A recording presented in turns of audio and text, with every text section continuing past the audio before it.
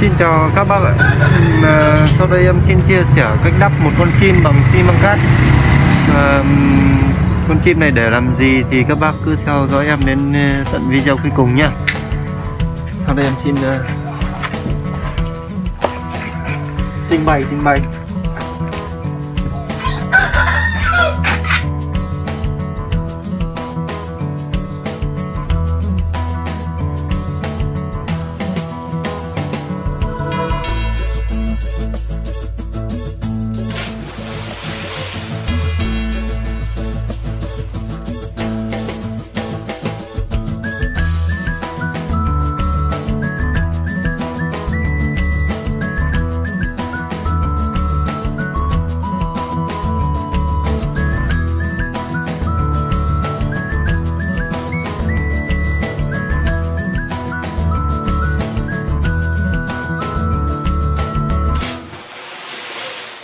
一次，我真的睡着了。”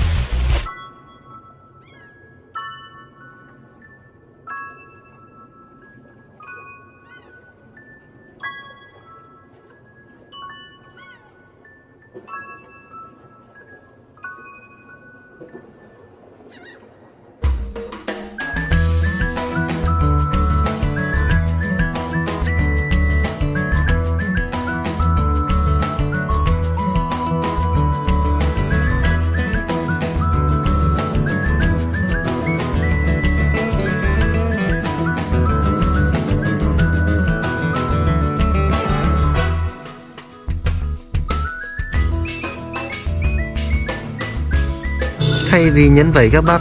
Cứ cứ cạo sần lên này cho em này. Đến lúc nó khô nó như màu lông đẹp lắm. Đấy. Chim này là một con chim non. Nó nó nó trôi vào trong gầm sảnh. Nó đang rửa lông. Nó, mưa đang rửa lông.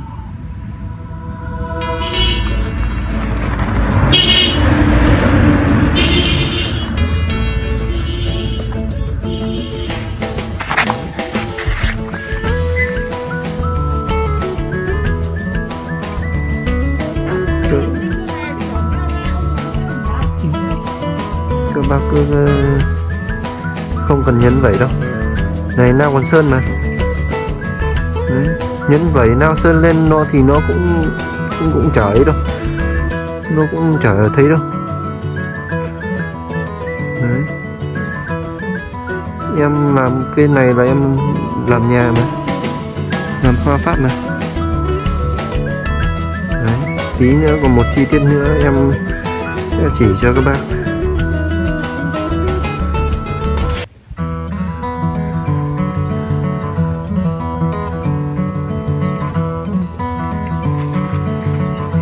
khoét cái ờ, em khoét cái ờ, mũi nữa đấy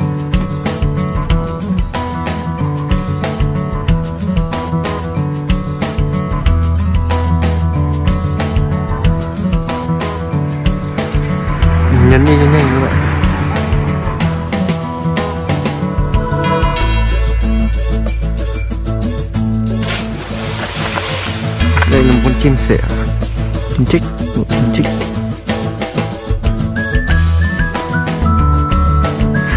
Đấy, các bác nhìn được. Đây này là điều quan trọng đây này. Các bác làm bất cứ một cái gì đấy. Các bác làm xong rồi các bác cứ quét như này cho em. Đấy. Để nó mỏng đầu này ra này.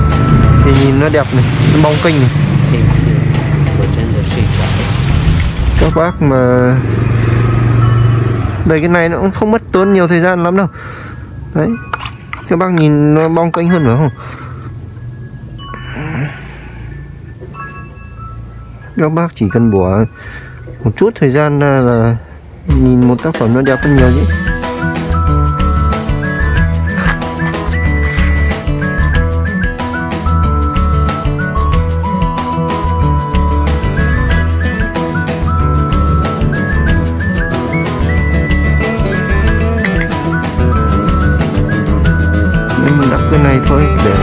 xong em quay tổng thể cho các bác xem.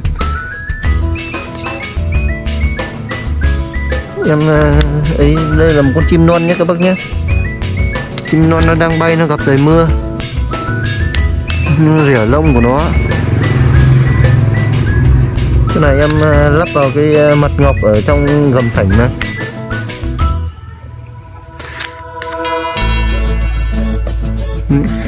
các bác nhìn bong kênh chưa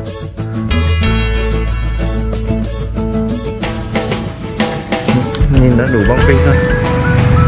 Cho bác cứ khoét cho em đi. Khoét làm sao cho nó bong kênh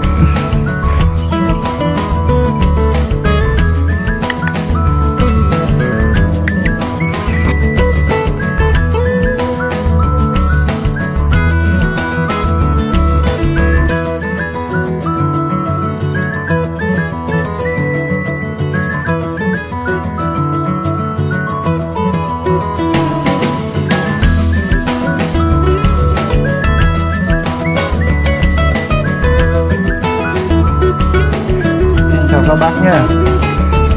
À, hôm nay là cái này là cái video cuối cùng của um, hoa văn ờ, pháp.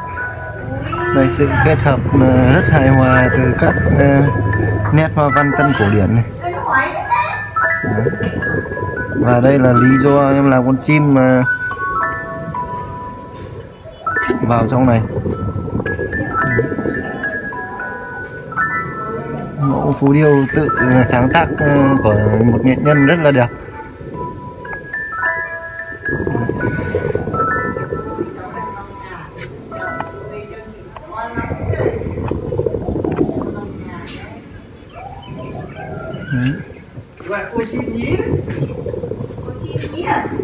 Rất đẹp luôn.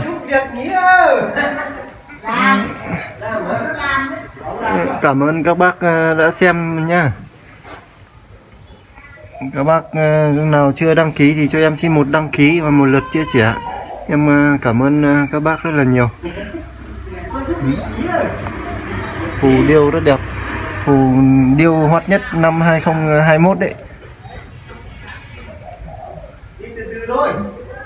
Thôi em xin kết thúc video đây. Hẹn gặp các bác ở video tiếp theo.